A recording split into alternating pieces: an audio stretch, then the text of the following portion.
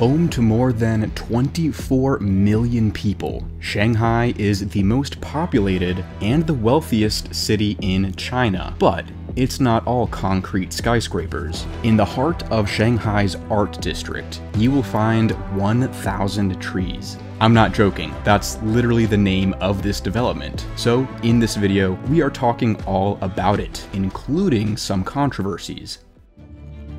Located near the banks of the Suzhou River, 1000 Trees is a mixed-use project that incorporates 1,000 trees and 250,000 plants into the architecture of the building. It was designed by Thomas Heatherwick and meant to look like a mountain covered with trees. Now, Thomas Heatherwick is also the designer behind The Vessel in Hudson Yards. 1000 Trees was explicitly designed to not look like a sterile concrete building that mixed use developments often resemble, and they did not want this to just blend in with all the high rise buildings around it. Phase 1 is technically a shopping mall, but it's meant to be much more than that. Instead, the goal was to humanize architecture and blend art with functionality. So, we ended up with a building that has a thousand trees placed on top of these concrete columns that go all the way through the building's structure. I think it looks pretty cool. But what about you? Leave a comment down below with your hot take on this building. The whole development is split into two phases, which are essentially two mountains, east and west that cover a total of 100,000 square meters. The first completed phase was the West Mountain. It's a nine story shopping center that includes shops, galleries, restaurants, and art exhibits. It was meant to be more inviting than just a shopping center, which is why there's more inclusion of nature, art, and social activity. The West Mountain opened in December 2021, after eight years of construction. Phase 2, which is the East Mountain, is currently underway, and it'll be even bigger than the West Mountain. Phase 2 will be a 19 story mountain that looks similar to Phase 1, but used mainly for office space and a hotel. Phase 2 will likely be completed in 2023.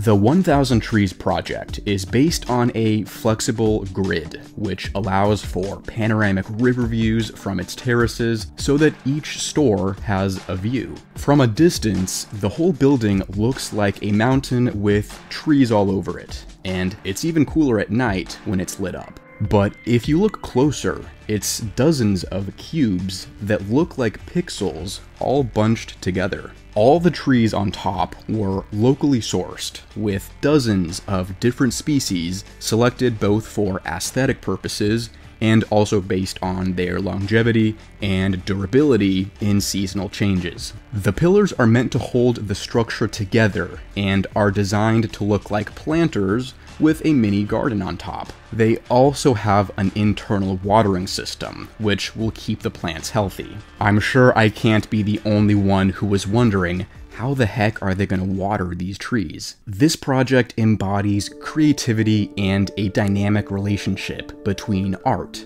nature, and architecture. I mean, as the trees and plants grow, it literally will change the way this building looks, so it really evolves over time. Of course, since this project is located in Shanghai's art district, this is a very creative space. There are dozens of artists here with studios open to the public. But art isn't just in the physical form anymore. It's digital. Anyone can become a creator these days, and that's one of the biggest opportunities on social media, especially YouTube. For a lot of creators, having the best resources is crucial.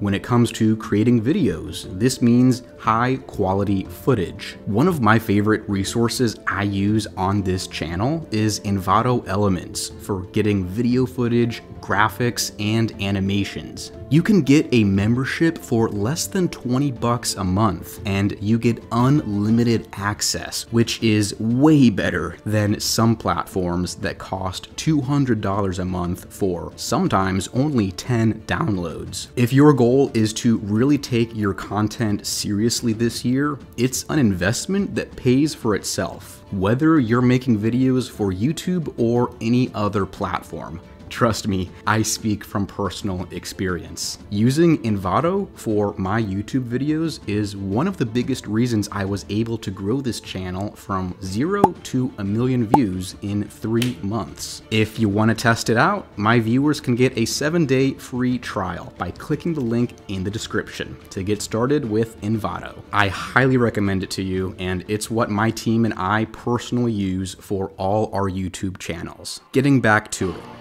The West Mountain features retail space containing 12 flagship stores, over 90 shops, and 63 outlets for food and beverage. There are a number of terrace cafes, casual food, and fine dining options. And there's an interesting food street concept here, where different options for food change every few months. Now, this building is about shopping, but it's also about art. Given its location near the M50 district, the artwork here is meant to capture moments of Shanghai's past and contrast its history with modern art and culture. Both phases of 1000 Trees are located on the site of a historic flour mill and a packaging warehouse, which have both been incorporated into the development. It gives new life to the area with modern art while still respecting Shanghai's past by including the flour mill and the warehouse into the design of the project. And 16 different artists were commissioned to create pieces for the decor of 1000 trees. One of them actually includes a 40 meter high mural in the elevator shaft on the interior of the West Mountain. And on the exterior of Phase 1, three sides of the mountain gradually slope down like you would expect, but the southern facade is sort of sliced open to showcase street art that was done by a variety of domestic and international artists. You'll see different portraits, murals, and artwork across all different styles along the southern facade.